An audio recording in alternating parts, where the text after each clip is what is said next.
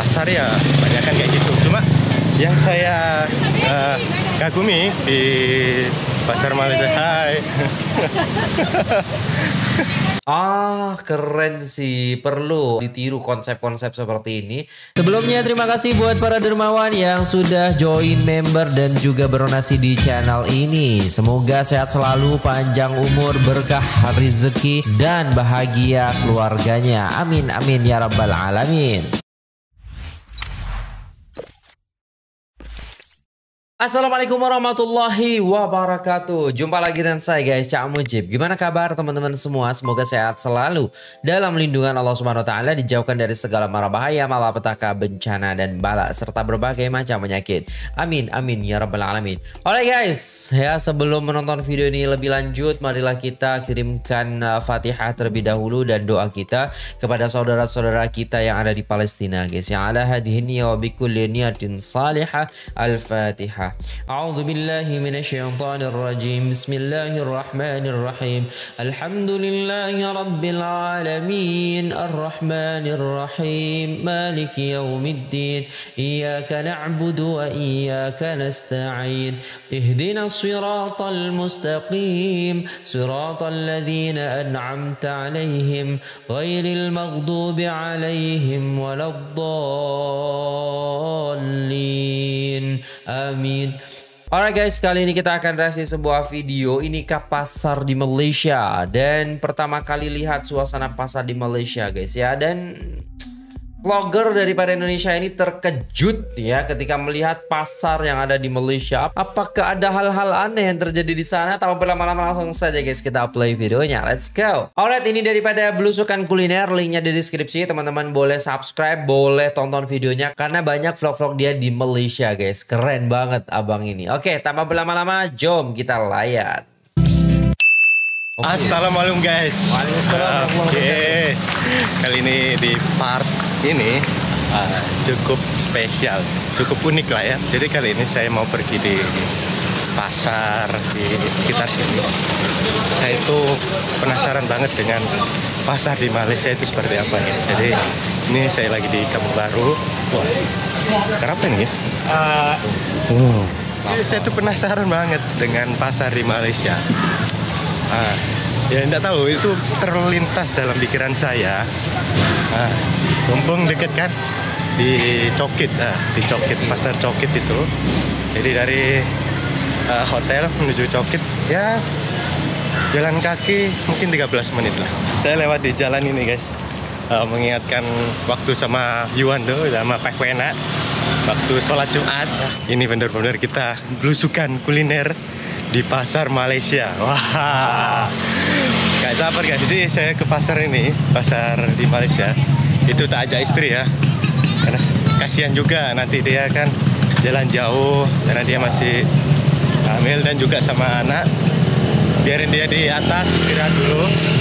Nah ini masjid yang waktu saya sholat Jumat dan cuaca hari ini di Kuala Lumpur cerah guys, alhamdulillah tak hujan dan ya panas juga ya tapi gak apa-apa lah. Semangat guys. Ini kali ini mau mendekati pasarnya ya guys ya. Oke ini dia pasar wow, di Malaysia. rame ternyata. Motor-motornya oh. banyak juga ini guys. Rame guys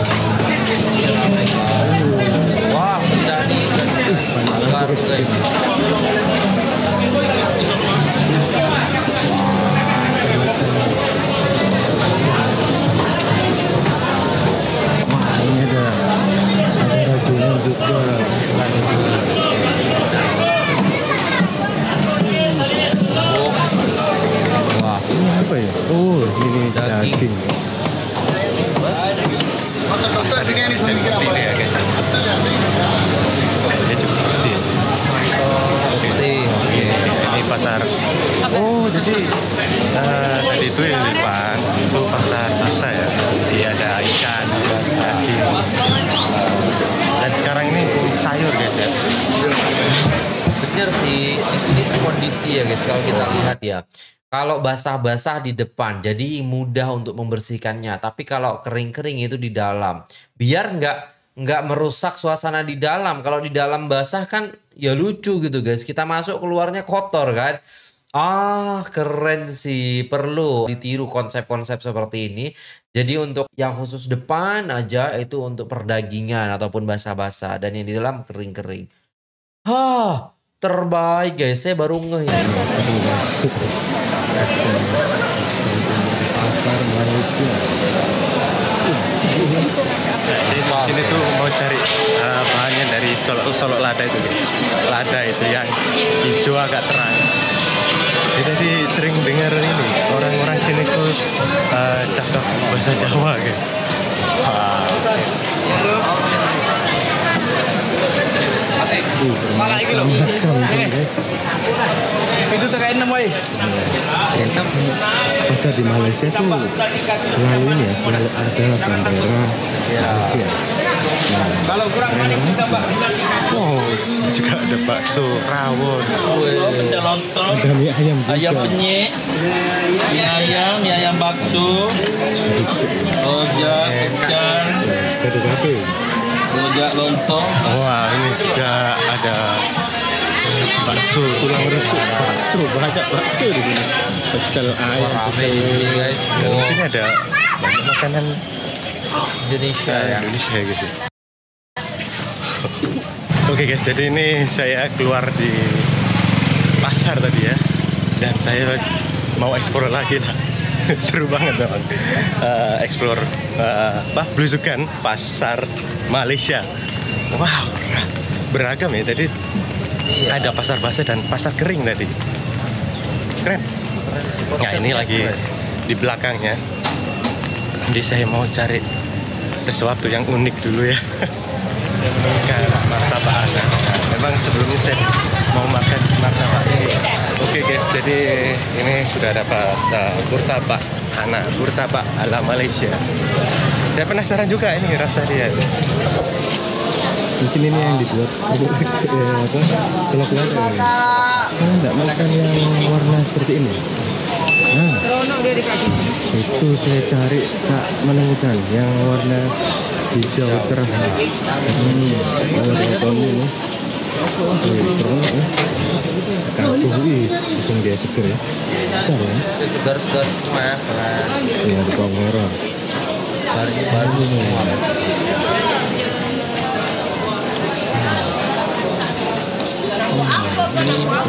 Unik. Jadi uh, cabai dia udah ditaruh di uh, pinggan gitu ya. Ya, Mungkin ya, juga uh, satu satu paket gitu ya. Ini kacang okra atau sayur pendi. Ya, unik ya. Saya tidak menemukan uh, lada ya, yang cabai hijau cerah. Ikan yang fresh fresh. Ayam kuning juga ya. Ayam kuning kayak ayam Wah. Oh, telur ikan ini ya. Ah,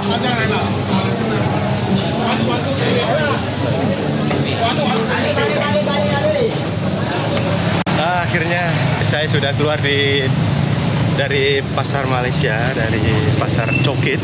Jadi tadi tak menemukan eh, bahan yang buat solok loda, yang cabai hijau cerah itu. Kebanyakan cabai hijau yang agak gelap ya.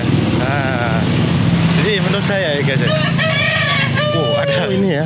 Mungkin ini, ini tempat eh, potong hewan. hewan ya, potong ayam ya. First impression selama di pasar Malaysia di dalam sana tadi dia bersih ya, bersih rapi ya.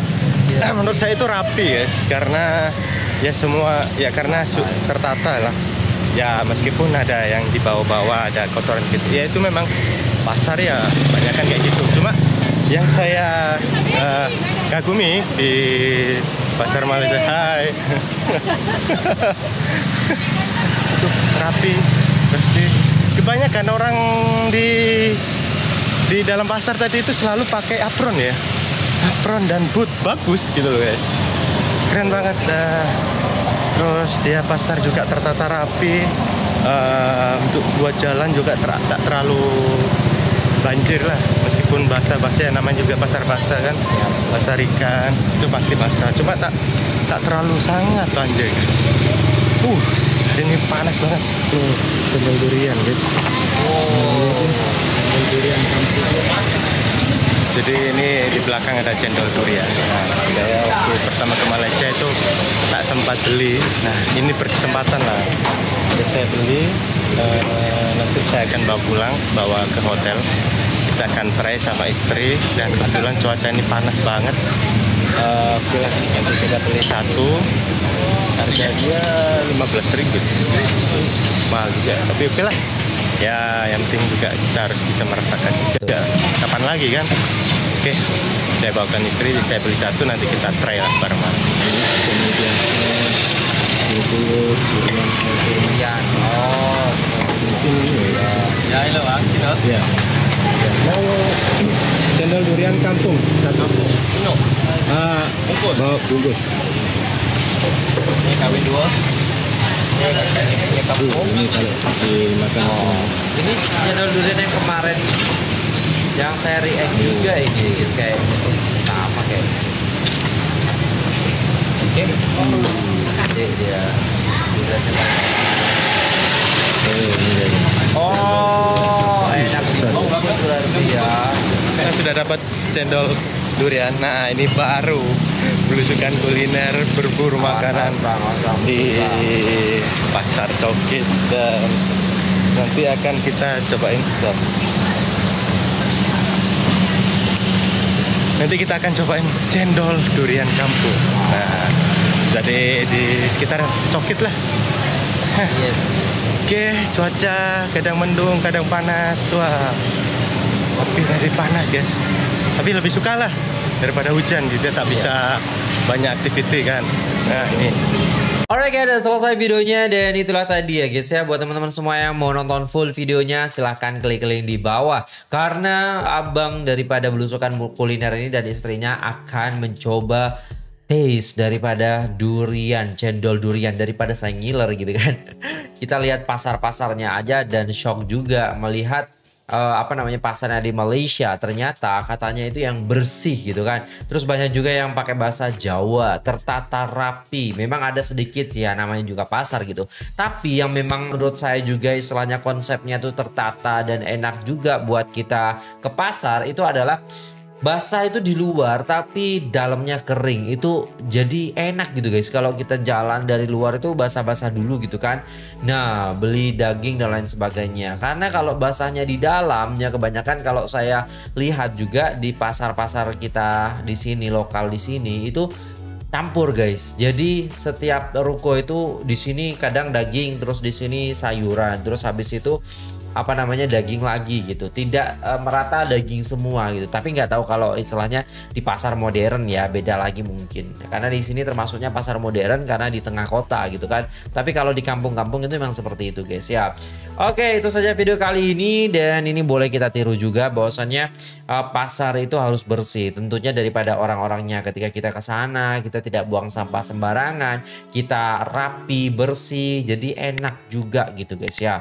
Oke, itu saja video kali ini. Terima kasih udah tengok video ini sampai selesai. Apabila ada salah kata mohon dimaafkan. Jangan lupa like, share, komen, subscribe. Belusukan kuliner. Terima kasih. Assalamualaikum warahmatullahi wabarakatuh.